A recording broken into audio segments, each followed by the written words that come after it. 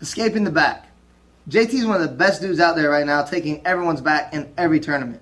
So, in order to be ready for guys like him, you need to know how to escape. But not only how to escape, you got to know what he's looking for so you know what else to watch out for because there's many ways to start being tricky with this back taking because you can go for attacks, put your hooks in, go back to the attacks, and just keep going back and forth, which is really confusing for the person that's got their back taken. So, starting with our back already taken right here, JT's going to go with double unders. Now remember, before he has his hooks in, he has only two options to go for. Either one, he's going to try to submit you. That means you're trying to defend up here. That gives free time for the hooks to come in.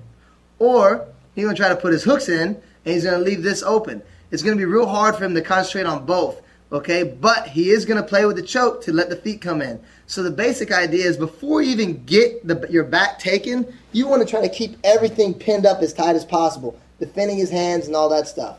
But let's go ahead and deal with a full-blown back being taken. Now, I know he's going to want to put a choke in. So if I'm just sitting straight, depending on whatever hand he goes at, uh, he brings out, that's the side I'm going to go to.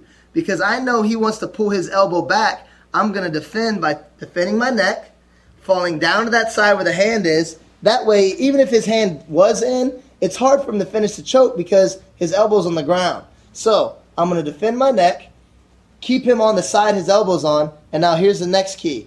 I need to get rid of one of these feet. Depending on which one is my it depends on which one he gives me.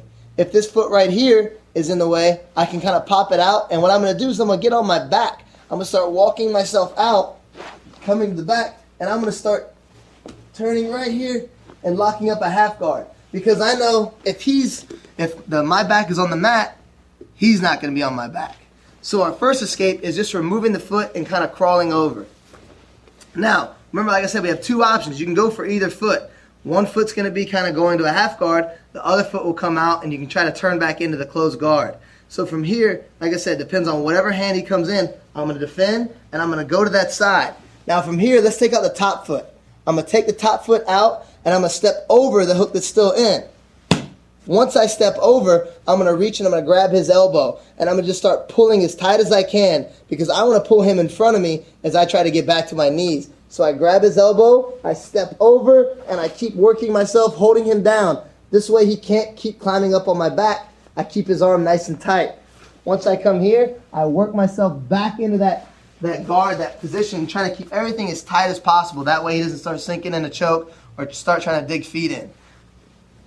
So now JT has his hooks in, got both hands in. I'm defending my neck. All I'm going to do is I'm going to pick a side. Remember, if he takes a hand out to choke you, that's going to decide which side you go to already. But if they just have your back, you can just defend and go to whichever one you want. Now, what I'm going to do is I'm going to take this foot out and I'm going to start stepping over. Once I step over, I need to watch out so he doesn't keep climbing up to my back. So what I'm going to do is I'm going to keep pinning down, maybe kick this other foot off. I need to remove everything that's holding me in. Remember, right now, he's got double unders, so I'm pinching his arms to not let go. From here, I'm going to work myself over the leg and just keep sliding out until I get my back on the mat. He might go to mount, he might try to go to half guard, he might try all kind of different things, but the whole idea is to not be with him on your back. You need to get out either turning into him or scooting your back flat. So watch again. This time, he's going to take his hand out and go for the choke. I'm defending, I'm grabbing, and falling onto that side.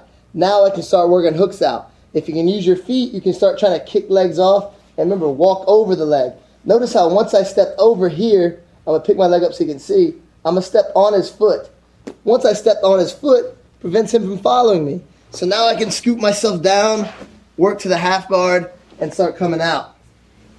Again, if you went for the choke again, I'm defending, falling down to this side. Maybe this time I need to use my hand.